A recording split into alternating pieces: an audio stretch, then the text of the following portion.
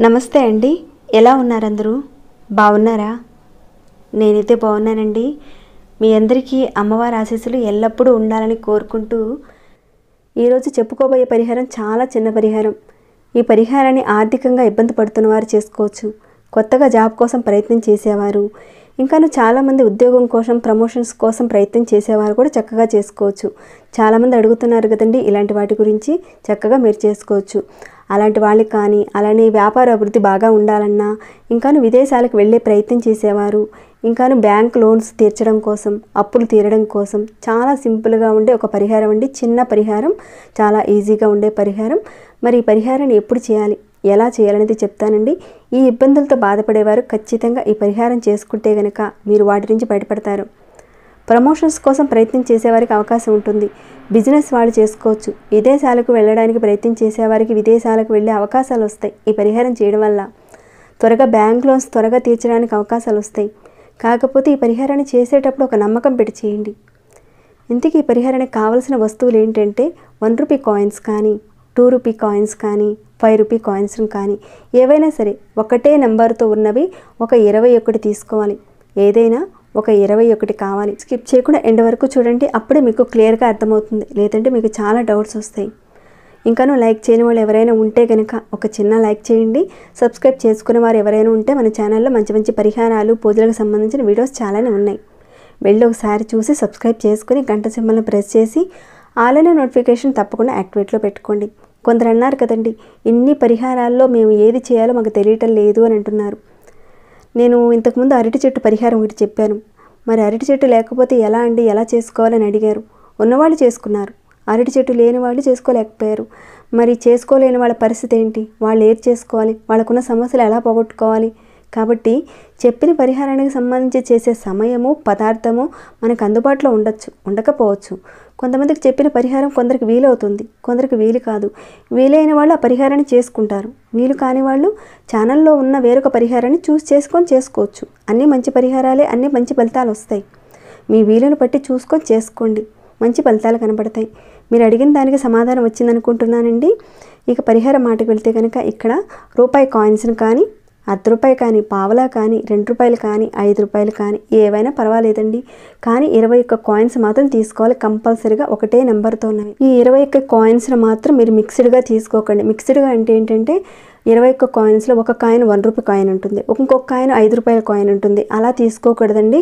అన్ని కాయిన్స్ కూడా వన్ రూపాయి తీసుకుంటే కనుక వన్ రూపీ కాయిన్సే తీసుకోండి. టూ రూపీస్ తీసుకుంటే టూ రూపీసే తీసుకోవాలన్నమాట. అర్థమైంది అనుకుంటున్నాను మీకు. ఇంతకీ ఈ పరిహారాన్ని ఎప్పుడు స్టార్ట్ చేయాలంటే అమావాస్య అయిన దగ్గర నుంచి స్టార్ట్ చేసుకోవాలి. లేదా అమావాస్య వెళ్ళిపోయిన రెండవ రోజు నుంచి మొదలు పెట్టాలి. లేదంటే అమావాస్య వెళ్ళిపోయిన తర్వాత నుంచి పౌర్ణమి వచ్చే లోపుగా పౌర్ణమి వస్తుంది కదండి అమావాస్య అయిపోయిన తర్వాత అది వచ్చేలోగా ఉన్న రోజుల్లో ఈ పరిహారాన్ని మొదలు పెట్టచ్చు. అమావాస్య అయిపోయిన తెల్లారి నుంచి అయినా సరే మీరు మొదలుపెట్టినా కానీ చాలా మంచిదండి. ఈ పరిహారానికి ఒక గాజు బౌల్ కావాలి. మూత ఉన్న సీసా కానీ లేదంటే గాజు బౌల్ కానీ తీసుకోండి. మీకు మంచి రిజల్ట్ రావాలి అంటే ప్లాస్టిక్ స్టీల్స్ మాత్రం అస్సలు వాడకండి పరిహారానికి.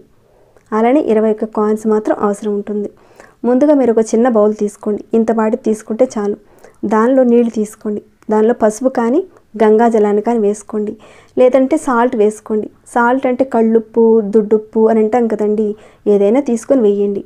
లేదంటే పసుపు కానీ గంగాజలం కానీ వేయండి ఆ నీళ్ళల్లో మీరు ఏవైతే కాయిన్స్ తీసుకున్నారో వాటిని ముందుగా నీళ్ళలో క్లీన్ చేయాలి. మామూలు నీళ్ళలో క్లీన్ చేయాలి. ఎందుకంటే అవి బయట నుంచి ఎక్కడి నుంచో వచ్చి ఉంటాయి చాలా వరకు మురికి పట్టుంటాయి.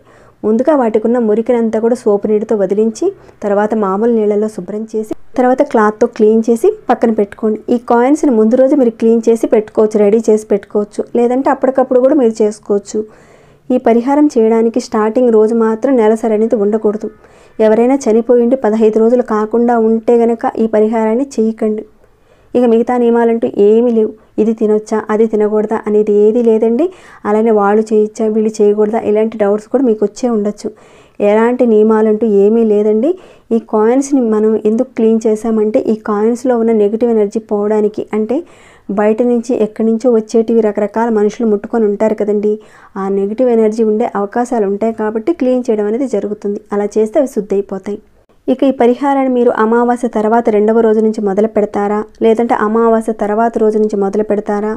లేదంటే అమావాస్య వెళ్ళిపోయిన దగ్గర నుంచి పౌర్ణమి వచ్చే లోపుగా ఈ మధ్యలో ఉన్న రోజుల్లో ఏదో ఒక రోజులు మీరు మొదలు పెడతారా అన్నది మీరు ఒకసారి డిసైడ్ చేసుకుని ఆ రోజున మీరు చక్కగా లేచి స్నానం చేసుకుని మీ పూజా మందిరం అంతా కూడా క్లీన్ చేసి పెట్టుకోండి. ఎక్కడైతే మీరు పూజ చేసుకుంటారో ఆ ప్రదేశంలో మీ ఇష్ట దైవానికి ప్రతిరోజు మీరు పూజ చేసుకునే దేవుడి దగ్గర చక్కగా ఎదురుగా కూర్చొని నమస్కారం చేసుకుని ఆవు నేతితో దీపారాధన చేయండి. తర్వాత అక్కడే ముందుగా మీ చేతిలోకి ఒక కాయిన్ తీసుకోండి. ఈ మంత్రం కూడా చెప్తానండి. మీరు ఒక పదకొండు సార్లు ఈ మంత్రాన్ని చదువుకోవాలి. అలా మీరు ఒక పదకొండు సార్లు అనుకొని ఈ కాయిన్ని ఈ జార్లో వేయాలి. తర్వాత అక్కడే కూర్చొని చక్కగా ఈ ఇరవై కాయిన్స్ని అక్కడ పెట్టుకున్నారు కదండి. ఆ కాయిన్స్లో నుంచి ఒక కాయిన్ తీసుకోండి. ఒక మంత్రం చెప్తానండి. మీరు ఒక పదకొండు సార్లు ఈ మంత్రాన్ని చదువుకోవాలి. అలా పదకొండు సార్లు చదువుకొని ఆ కాయిన్ని ఈ జార్లో వేయాలి. ఏదైతే గాజు బౌల్ తీసుకున్నాం కదండి ఈ జారు దాంట్లో వేసుకోవాలన్నమాట. ఈ మంత్రం చండీ అమ్మవారి మంత్రం. దీనికి గురోపదేశం అవసరం లేదు. గురోపదేశం లేకుండానే చదువుకోవచ్చు. ఈ మంత్రాన్ని మీరు ఒక పదకొండు సార్లు అనుకొని ఈ కాయిన్ని ఈ గాజు సీసాలో పెట్టుకోవాలి ఫస్ట్ రోజున. కాయిన్ వేసేటప్పుడు చేతిలో గట్టిగా పట్టుకుని దాన్ని మంత్రం చదువుకొని పెట్టాలి. ఈ పరిహారాన్ని మీరు ఇరవై ఒక్క రోజుల పాటు చేయాలి కంటిన్యూగా చేయాలి. ఇలా మొదటి రోజు ఈ రకంగా కాయిన్ వేయాలి గారు మొట్టమొదటి ఒక కాయిన్ వేశారు. తర్వాత గాజు బౌల్కున్న మూతను గట్టిగా పెట్టేసేయండి. పెట్టేసి మీ పూజా మందిరంలో ఉన్న ఉత్తరం వైపు కానీ అలమార్లో కానీ ఎవరు ముట్టుకొని ఒక ప్రదేశంలో పెట్టేయండి అక్కడ. ఈ మంత్రాన్ని మీరు ఒక పదకొండు సార్లు చెప్పాలి. కుదిరితే కనుక నూట ఎనిమిది సార్లు కూడా చెప్పుకోవచ్చు కాయిన్ చేతిలో పట్టుకొని. ఈ మంత్రాన్ని చెప్పుకోవడం వల్ల లక్ష్మి ధైర్యం విద్య శక్తి ఆ రూపాయిలోకి వస్తుంది. ఈ రకంగా చేసిన తర్వాత మీరు జార్లో వేసేశారు. ఈశాన్యంలో ఉన్న పూజా మందిరంలో కానీ తూర్పు వైపు ఉన్న పూజా మందిరంలో కానీ లేదంటే ఉత్తరం వైపున కానీ పెట్టుకోండి. ఉత్తరం వైపున అలమారులు ఉంటే కనుక ఎవరు ముట్టుకొని చోటు ఉంటే కనుక అక్కడ పెట్టండి. లేదంటే పూజా మందిరంలోనే పెట్టుకోండి. అలా అయిన తర్వాత రెండవ రోజు కూడా సేమ్ అలానే ఒక పదకొండు సార్లు మంత్రాన్ని చెప్పుకొని ఈ ఇరవై ఒక్క కాయిన్స్లో నుంచి మరొక కాయిన్ మీరు తీసుకొని చేతిలో పట్టుకొని చెప్పుకొని మళ్ళీ ఆ జార్లో వేయాలి. రూపాయి కాయిన్ వేసేటప్పుడు చేతిలో పట్టుకొని మంత్రాన్ని చదువుకొని వెయ్యాలండి ఇలా ఇరవై ఒక్క కాయిన్స్ని ప్రతిరోజు ఒక్కొక్క కాయిన్ చొప్పున ఈ రకంగా వేసుకుంటూ వెళ్ళాలి. ఒక కాయిన్స్ తీసుకోవడం పట్టుకోవడం గట్టిగా మనస్ఫూర్తిగా అమ్మవారికి సంబంధించిన నామాన్ని జపించడం గాజు బౌల్లో వేయడం. ఇలా చేసుకుంటూ వెళ్ళాలి. ఇరవై ఒక్క రోజుల పాటు చేయాలి.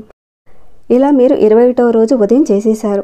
తర్వాత సాయంత్రం పూట ఈ కాయిన్స్ వేసిన గాజు బౌల్లో వాటర్ పోయండి. పోసేసి మూత పెట్టేయండి. ఇలా మూత పెట్టేసిన తర్వాత ఆ గాజు బౌల్ని మీ ఇంట ఆరు బయట ఓపెన్ ఏరియాలో పెట్టేయండి.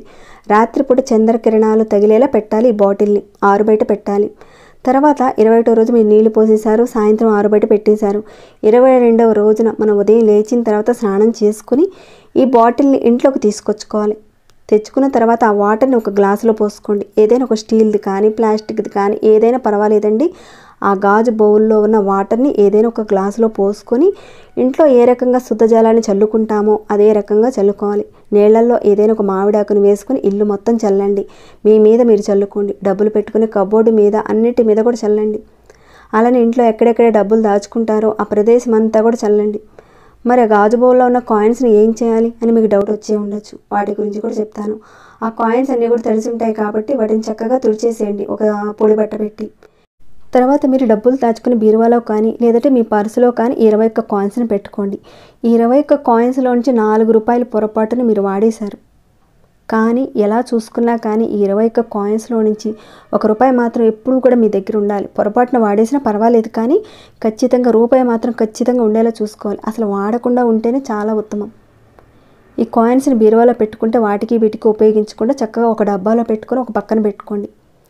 ఈ పరిహారాన్ని మీరు ఆరు నెలలకు ఒకసారి చేసుకోవచ్చు సంవత్సరానికి ఒకసారి చేసుకోవచ్చు. ఈ పరిహారాన్ని చేయడం వల్ల ఎలాంటి ఫలితాలు వస్తాయంటే మీరు అమ్మవారి నామాన్ని తలుచుకుంటూ ఒక్కొక్క కాయిన్ వేశారు. అది కూడా చండీ అమ్మవారి యొక్క శక్తి కలిగిన పవర్ఫుల్ అయిన మంత్రం అది.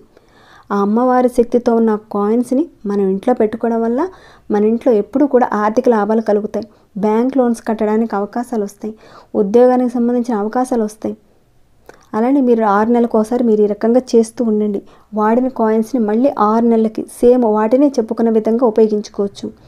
మీరు జాగ్రత్తగా పెట్టుకుంటే కనుక తప్పకుండా ఉపయోగించుకోవచ్చు. మళ్ళీ నెక్స్ట్ టైం ఆరు నెలలకు చేసుకోవచ్చు. ఎవరైతే ఈ పరిహారాన్ని మొదలు పెట్టారో ఈ పరిహారాన్ని వారే పూర్తి చేయాలి.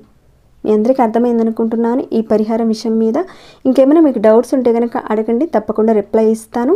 తప్పకుండా చేసుకోండి. చాలా మంచి పరిహారం అండి. ఎవరైతే ఇబ్బందులతో బాధపడుతున్నారో చేసుకోండి. మంచి రిజల్ట్ అయితే కనపడుతుంది. మరి ఈ వీడియోని ఇంతటితో ముగిస్తున్నాను. మీకు ఎలా అనిపించింది ఈ వీడియో అన్నది కూడా కాస్త కామెంట్ రూపంలో నాకు తెలియచేయండి. ఇంకేమైనా డౌట్స్ ఉంటే కనుక అడగండి రిప్లై ఇస్తాను. సబ్స్క్రైబ్ కాని వారు ఎవరైనా ఉంటే కనుక సబ్స్క్రైబ్ చేసుకోండి. వెళ్ళేటప్పుడు ఒక చిన్న లైక్ చేసి వెళ్ళండి. ప్రతిరోజు మన ఛానల్లో ఉన్న వీడియోస్ని చూస్తూ ఉండండి. మరొక భక్తి వీడియోలో మళ్ళీ మిమ్మల్ని కలుసుకుంటాను. అంతవరకు సెలవు.